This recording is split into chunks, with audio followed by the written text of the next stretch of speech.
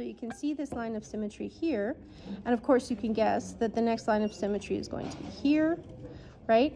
But there are also lines of symmetry within petals, but because you've got usually um, not even sized beads, seed beads come in different shapes and sizes, especially the vintage ones like these ones. So when you go within a petal, sometimes you don't end up with the symmetry that you would expect. So this petal over here, most petals have kind of like a heart shape. And usually you strive to have the same amount of beads on one side as the other, but it doesn't always work out that way because you are not a machine, you're a beader.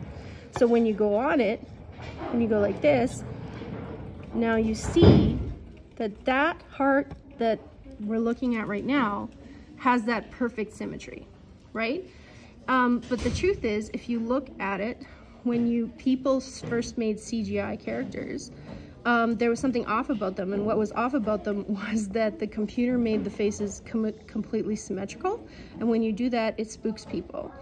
Um, humans are wired for symmetri symmetrical faces because symmetrical faces tell us that a person is healthy generally.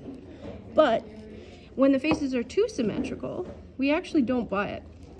So this is a good example of where the beader couldn't quite make the symmetry work because they went a little wonky over here. They overfilled the bead here, right?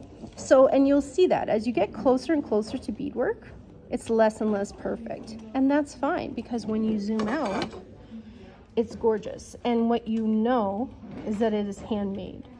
And hand making it, being able to hand make things is really important.